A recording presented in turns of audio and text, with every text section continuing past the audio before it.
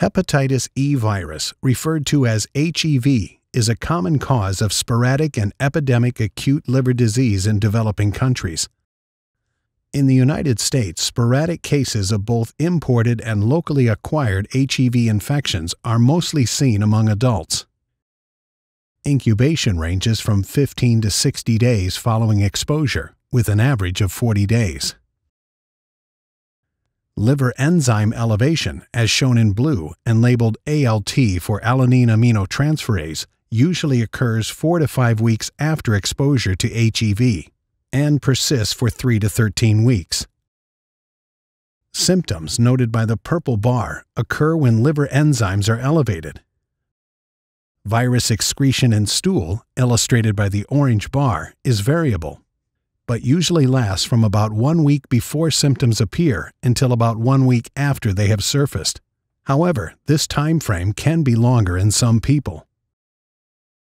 Viremia in acute self-limited infections, shown by the green bar, can be detected about three weeks following exposure or a week or so prior to onset of symptoms and lasts for about two weeks.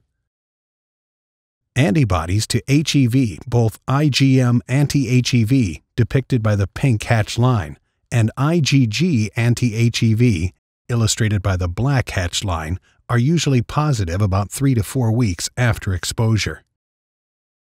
IgG anti-HEV persists, but IgM anti-HEV declines rapidly during early convalescence and is usually negative by 13 weeks.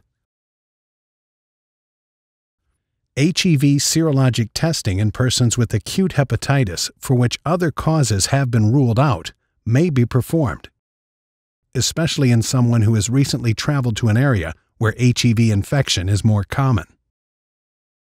Chronic HEV infection is rare, but has been increasingly recognized in immune-compromised patients.